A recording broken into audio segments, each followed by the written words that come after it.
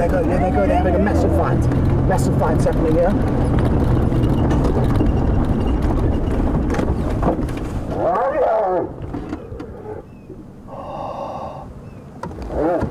Well, this is going to be very hard to watch, but we are going to stay here. So if you cannot keep watching, you're going to just simply have to turn off the TV.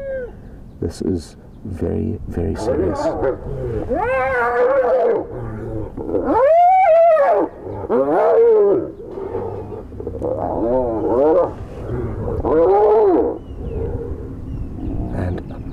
Hyenas do fight fiercely amongst different clans, and sometimes even within their own clan. And it's often the females that will compete most ferociously for the hierarchy of queen. And it looks like right now one individual hyena is in serious trouble. Its one ear is just about being ripped off. And like I said, this isn't easy to.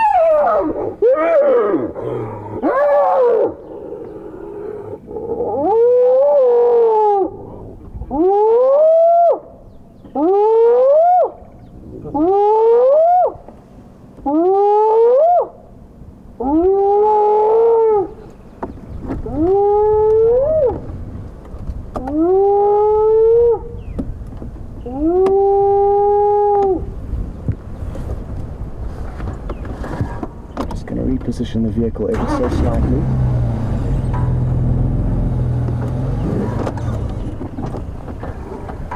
Now, let's see if it tries to move here. Yeah, it looks like it's going to. Oh no. Yeah, okay, it's back. Its, its back foot has been completely broken. So I'll take back what I've just said. This hyena is in dire straits.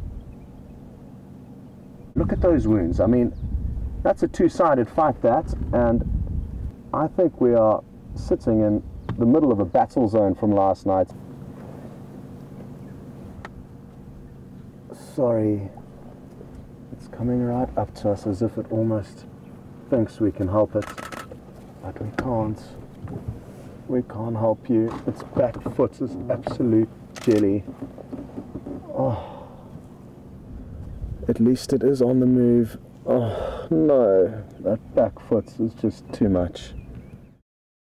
Well, this morning certainly has been an emotional morning and one with some very tricky sights to take in. About three adult hyena, all kind of attacking one other adult hyena. It had its ear ripped off, its back left leg or foot was almost turned into jelly. We got to see the one hyena, the wounded hyena, limping back into Juma, not away from Juma, away from our clan, means to me that it could have been an intra-clan dispute, and the footage uh, bears testament to just how tough it is out here in Africa and how ferocious animals will be with one another, even their own species, trying to vie for dominance and to get into the right spot. What we see is raw, it's live, and it's unedited, and there's no way of predicting what we are going to see and when.